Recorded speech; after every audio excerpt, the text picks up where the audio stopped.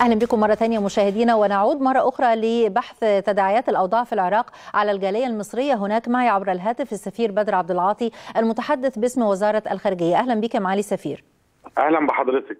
يعني طمنا على المصريين هناك وعلى عمليات الإجلاء حتى الآن وسيرها آه طبعا في غرفة عمليات موجودة داخل وزارة الخارجية بتعمل على مدار الساعة.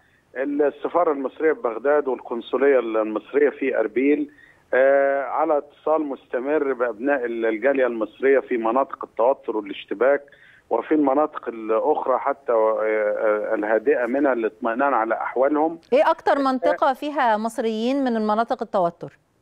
إحنا طبعا كان أكتر حتى منطقة فيها توتر هي منطقة بيجي خاصه وإن بها محطة كهرباء وبيقوم بتشغيل هذه المحطة عدد كبير من المهندسين والعمال المصريين م. وتم بالفعل بناء على طلبهم وفي ضوء تدهور الأوضاع الأمنية هناك تم إجلاء 780 مصري من هذه المنطقة إلى إربيل وتسكينهم بالفنادق وعاد عادوا بالفعل على متن أربع رحلات جوية إلى أرض الوطن. ده اللي بيتم على مستوى الجالية. وحتى الآن يعني الاتصالات مستمرة معهم في البعض بيريد اجلائهم إلى مناطق أكثر امانا داخل العراق. وبيتم ده بالفعل في البعض بيريد العودة إلى أرض الوطن. يتم مساعدتهم بالفعل بالتعاون مع السلطات العراقية. طيب العمالة قد إيه هناك المصرية سعاده السفير؟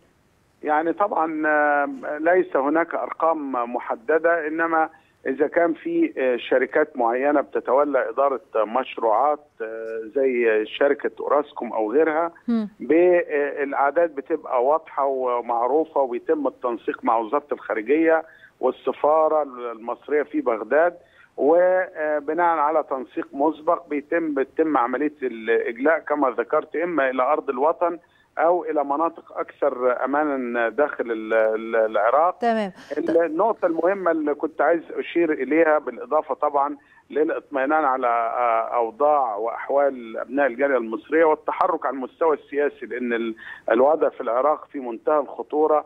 هناك مخاطر للتقسيم على أسس مذهبية. مصر خدت يمكن جانب المبادرة.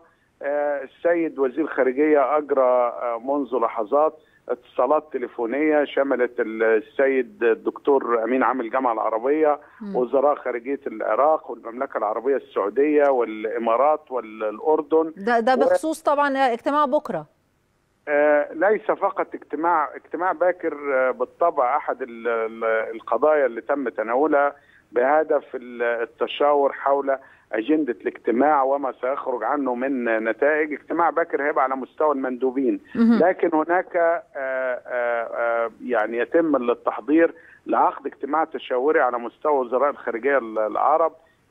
في جدة على هامش أعمال الدورة 41 للمجلس الوزاري لمنظمة التعاون الإسلامي اللي هتبدأ أعمالها في جدة يوم 18 يونيو إن شاء الله يعني يوم الأربعاء ف هدف هذه الاتصالات هو الاتفاق على عقد هذا الاجتماع التشاوري بالإضافة بطبيعة الحال للاتفاق على موقف عربي موحد وإجراءات مشتركة يتم اتخاذها للتعامل مع الوضع المتدهور حاليا في العراق.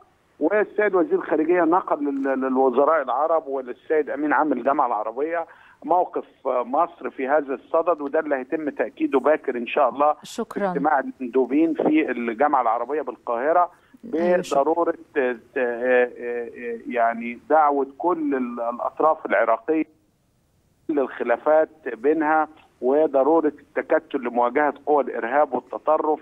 تمام. و... شكرا لحضرتك. شكرا جزيلا للسفير بدر عبد العاطي المتحدث الرسمي باسم وزارة الخارجية. دلوقتي هنطلع إلى فاصل ونعود إليكم.